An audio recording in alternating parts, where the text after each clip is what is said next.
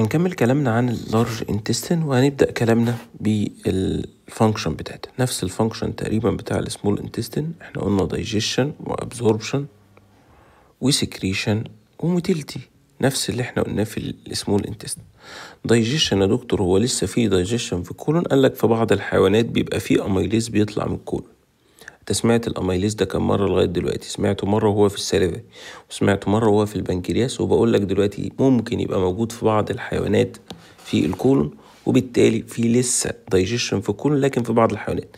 غالبا إحنا على مستوانا مبقاش في قوي دايجيشن في ال colon الحاجة التانية ال absorption هو لسه في absorption مش أنت قلت ال absorption خلاص مين اللي بال small intestine أنت عندك حق. لكن ساعات بيحصل لبعض ال electrolyte وال water من ال colon الحاجة اللي بعد كده secretion و motility ال motility إيه يا دكتور؟ في ثلاث حركات بس. بدل ما كانوا ستة اللي هم ال mass peristalsis وال peristalsis نفسه وال segmentation خلاص؟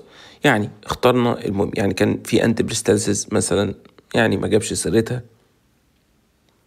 ال migratory motor complex قلنا بتقف عند ال terminal ileum ما جبناش سيرتها. ال villi قلنا لا طبعا لأن هنا ما فيش villi فبالتالي برضو ما جابش سيرتها. طب ال secretion قال لك أهم حاجة في ال secretion إنها ال wall بتاعها بيطلع mucus. هتقول لي إيه ده يا دكتور؟ ال wall بتاع ال colon بيطلع mucus؟ آه بيطلع mucus. لدرجة يا جماعة الناس اللي عندهم انسداد في القولون يعني أدي مثلا واحد عنده انسداد في القولون عندنا في الجراحة كده طفل صغير مثلا عنده انسداد هنا. خلاص؟ المفروض مش هيعدي stool مش هيعدي براز خلاص؟ ممكن تلاقي الأم تشتكي لك كده إنه بيعدي من هنا دكتور إفرازات. إفرازات عاملة زي المخاط كده. تقول لها آه دي إفرازات. في ناس حتى بتفتكر الإفرازات دي إنها آه براز. لا هي مش براز يا جماعة ده مخاط عامل زي الحاجة البيضة اللي هي آه يعني شفافة شوية وبيضة. دي اللي هي إيه يا جماعة؟ ال mucus. ودي طبيعية بتطلع من آه من جدار ال colon وملهاش علاقة بالأكل العيان بياكله أو ما بياكلوش. هي كده كده ال colon بيطلع mucus طيب ال mucus دي فايدتها إيه يا جماعة؟ ت lubricate ال food يعني الأكل بقى تاخده كده إيه تبدأ تزفلطه. طيب ليه بقى؟ وتخزنه. الوظيفة اللي بعد كده في ال colon إحنا خدنا الأربعة زي ال small bowel في بقى إيه زيادة؟ ال colon قالك بيعمل كمان storage يعني بيوقف الأكل فيه شوية. أو يعني أنت بعد ما خزنته قمت سايب الأكل هنا كده. يبقى تخزين الأكل. لحين وقت ال defecation التبرز. ال defecation ده اللي هو التبرز لأن العيان ينزل stool stool يعني براز. تمام؟ يبقى تخزين للح... لغاية وقت ال defecation النزول. يبقى دول اتنين زيادة مش موجودين في ال small intestine كمان في حاجة اسمها synthetic ارجع كده لكتاب ال blood زمان. كنا قلنا إن في بكتيريا فلورا عايشة في ال colon والبكتيريا فلورا بتكون vitamins زي فيتامين كاف فيتامين كاف من الحاجات اللي بتتكون هنا يا جماعة ومهمة جدا. فيتامين كاف ده كنا واخدينه زمان لل clotting factor والوقف النزيف والكلام ده. الحاجة الرابعة إنها كمان بت secrete يعني بيحصل excretion لبعض المواد هنا الجسم لما يعني مثلا دخل مادة ال lead دي اللي هي الرصاص جوه الجسم عندك وجوه الدم والدم بعد كده بيعوز يتخلص منها بيحصل لها excretion هنا في ال colon برضو دي من الوظائف بتاعته. نيجي بس هنتكلم عن معلومة بسيطة عن ال defecation إيه ال defecation ده يا جماعة؟ اللي هو نزول ال stool. هو evacuation. يبقى في فرق بين storage أنا بخزن لغاية وقت ال evacuation اللي هو إن أنا بنزل ال stool. بينزل منين؟ ال stool بيبقى متخزن جوه ال rectum وينزل outside ال anal canal أهم معلومة في ال defecation يا جماعة إنها spinal cord reflex automatic reflex خاصة في ال animal وال infant في الأطفال الصغير. افتكر كده وإحنا أطفال صغيرين طفل صغير كده ابن أخوك ولا ابن أختك تمام؟ بيحصل له إيه يا جماعة؟ بيعدي stool. آه بيعدي stool. طب بيعدي stool تلقائي ولا هو متحكم فيه؟ لا تلقائي. والدليل على كده إن أختك ملبسه بامبرز. ال stool ده قصته إيه يا جماعة؟ بص كده. آدي ال rectum أهو. وآدي ال anal canal ال anal canal اللي هي فتحة الشرج وآدي ال rectum مستقيم. تمام؟ في عضلات هنا يا جماعة مهمة. في عضلة موجودة في جدار ال rectum نفسه في جدار ال rectal wall نفسه. خلاص في عضلات في ال rectal wall. وفي عضلة تانية موجودة بنقول عليها internal sphincter. نقول عليها إيه؟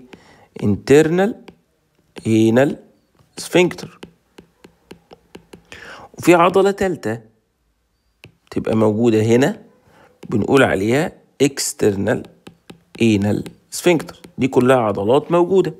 طيب تعال نشوف. الأكل لما بيخش هنا يا جماعة إيه اللي بيحصل؟ الستول يعني بيتكون هنا في الريكتوم. إيه اللي بيحصل؟ بنقوم باعتين إشارة لل spinal cord. اني حتة في ال spinal cord بالذات؟ عند S اتنين و S تلاتة و S أربعة. أول ما الأكل يجي هنا ربنا بيبقى حاطط لك هنا receptor. إيه receptor مستقبلات حسية؟ تحس الأكل تستشعره وتبعت الكلام ده تعرف ال spinal cord. طيب مين ال nerve اللي بيبعت ده يا دكتور؟ مين الإشارة اللي وصلت لهنا في ال spinal cord؟ ال nerve ده اسمه إيه؟ اسمه pelvic nerve. ال pelvic nerve بياخد الإشارات من ال colon أو ال rectum يبعتها لل spinal cord عند S 2 3 4 يقول لها خلي بالك إن ال stool آه اتجمع جوه ال rectum تمام؟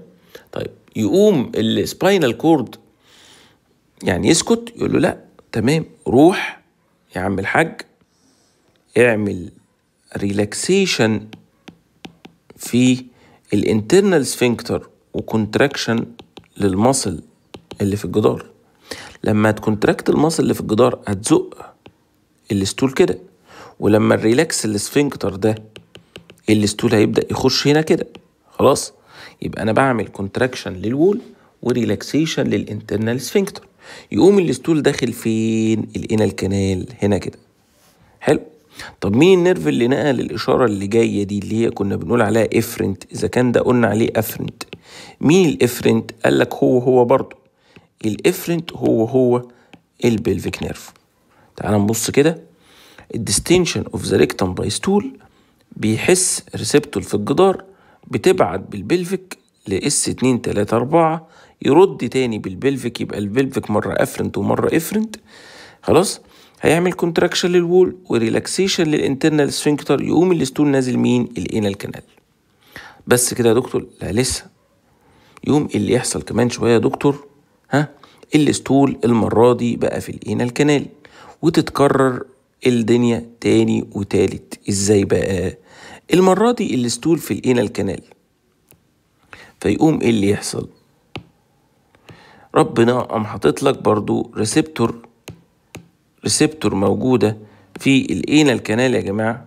ربنا حاطط لك برضو receptor هنا موجودة في ال anal canal. ثانية كده يا جماعة. حاطط لك هنا receptor في ال anal canal. تحس برضو ال stool اللي نزل. تقوم باعت afferent لمين؟ ل S اتنين تلاتة أربعة. طب مين ال afferent يا باشا اللي رايح ده يا دكتور؟ ال pudendal nerve. اسمه pudendal nerve. ال pudendal ده يا جماعة تاخدوه في ال anatomy موجود في منطقة ال perineum تحت خالص. لأن أنت عندك في حاجة اسمها pelvic floor في حاجة اسمها ال pelvis فوقيه وفي حاجة اسمها ال perineum تحتيه اللي هي منطقة العانة. منطقة العانة ال main nerve اللي جواها ال pudendal لكن منطقة ال pelvis ال main nerve اللي فيها اسمه pelvic. يقوم ال pudendal ده باعت لمين؟ ل S 2 3 4 يقول لها خلي بالك ال stool في ال anal تقول له ولا يهمك. روح يا external anal sphincter وسع الدنيا أكتر عشان تعمل إيه؟ تدخل ال stool تطلع ال stool بره ال anal canal طب مين يا دكتور اللي بيبعت لل external anal sphincter برضه ال pudendal. يبقى ال pudendal رايح جاي اهو afferent و efferent تعال نشوف كده.